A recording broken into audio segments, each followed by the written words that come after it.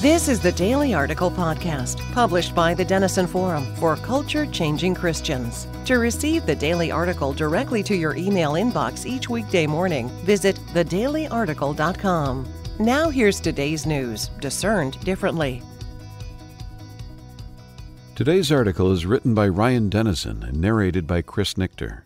Closing arguments were heard yesterday in the trial of Derek Chauvin following three weeks of testimony. It is now up to the jury to decide whether or not Chauvin is guilty of the charges for which he stands accused in relation to his role in the death of George Floyd second degree unintentional murder, third degree murder, and second degree manslaughter. For many, Chauvin's guilt was decided as soon as the video of the tragic event went viral shortly after Floyd's death on May 25th of last year. Chauvin's fate, however, is not in the hands of the masses, but rather in those of twelve of his peers. As such, what they decide over the coming days will reverberate across the nation and around the world in a way that may shape much of the discourse on issues of race, police conduct, and justice for quite some time. In light of those potential repercussions, today I'd like for us to focus on how we can best pray for those in the jury, the crowds gathered in anticipation of their verdict, and for our fellow believers to respond in accordance with God's sense of justice rather than our own. Justice can often seem like an elusive concept in our culture. Rarely will multiple people look at the same event or the same outcome and come away with a unanimous understanding of what a just response would look like. And while there are many reasons this is the case, varying degrees of personal proximity to the issue, differing views on the need for grace versus accountability, etc. The chief factor is that God's justice is measured out according to a fair and accurate understanding of our sins. We, as fallen humans, lack that ability. The third chapter of Genesis offers a helpful example of this distinction. In this chapter, we see God's response to the sin of Adam and Eve. He addresses directly what they've done wrong disciplines them in a way that reinforces the gravity of their mistake, but does so from a place of holy opposition to sin rather than a desire to see them suffer. Now think back to the last time you were hurt or witnessed an event that filled you with anger and the desire to see justice done. Were you able to respond as the Lord did, administering discipline in accordance with the sin committed? Or did your reaction cross that boundary and come from a place of anger or resentment rather than holiness and the desire for redemption. If it was the latter, the reason is most likely that when anger leads us to action, the result is often akin to a volcano that has been building toward eruption over a long period of time. Whatever or whomever it is that finally leads us across that threshold into action is likely to receive more than their fair share of our wrath. As Dallas Willard remarked, the explosion of anger never simply comes from the incident. Most people carry a supply of anger around with them.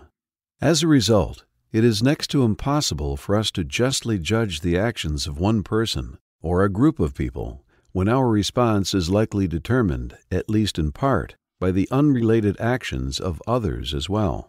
Owning those limitations enables us to better understand why we need the Holy Spirit to help us seek God's justice for a given situation rather than rely on our own.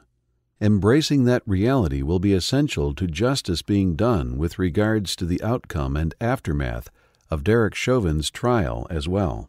As such, let's close today by looking at three groups for whom we must pray in light of the need for the Lord's justice to be done, both in the trial's outcome and in the aftermath that follows. First, Pray for the jurors.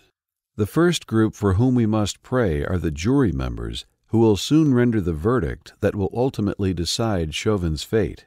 Even without the extraordinary circumstances surrounding the trial, determining if the prosecution has presented a strong enough case that the accused should be found guilty would be a challenging task. When factoring in the outside pressure to come to such a conclusion, their job becomes immeasurably more difficult even if Chauvin should be found guilty. Couple that with the temptation to judge Chauvin not just for his role in the death of George Floyd, but also as a proxy for other high profile police killings, such as with Breonna Taylor, Trayvon Martin, and more recently, Daunte Wright, limiting their judgment to the case at hand will likely prove a monumental task. As such, we must pray that the Lord will give them the ability to judge rightly and fairly, based on the evidence presented to render a just decision. Second, pray for the crowds. And the same is true with regards to the crowds in Minneapolis and across the country who have gathered in anticipation of the court's verdict. Many see the current trial as an extension of the larger and often valid problems with police conduct in this country. To them, Derek Chauvin stands accused not just of killing George Floyd, but as a representation of the officers who have either already been acquitted or have yet to stand trial for their roles in the deaths of others. As such, their understanding of justice in this case may not line up with that of the Lord's, even if their assessment of Chauvin is proven correct. Pray not only that God's justice will be rendered in the trial, but that it will prove satisfactory to the masses of people who already seem to have determined what that justice should look like. It is an essential responsibility for us today. That responsibility, in turn, leads to the last point of prayer we must discuss. Third, pray for yourself and fellow believers. As followers of Christ, we are tasked with being peacemakers in an often unpeaceful world. It's important to note, however, that being a peacemaker does not mean simply attempting to limit the presence of conflict in a given situation, though we should seek to avoid actions that would escalate it. Rather, it means being the embodiment of God's presence and an ambassador for His justice in order to help others look to Him for the proper perspective in a given situation.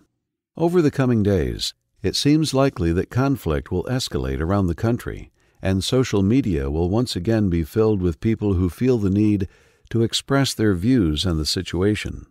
Our challenge as believers will be to pray before we post and make sure that we run any and all comments through the lens of Scripture and the Holy Spirit before they escape into the larger world. So, as we conclude, please join me in committing to make prayer a priority throughout the day. Pray for the jury, pray for the crowds, and pray for yourself and your fellow believers. Do so any and every time the Lord places them on your heart or the news brings them to mind. Will you start right now? If you like what you heard, please leave a rating and review for the podcast. Thank you for listening to the Daily Article Podcast today.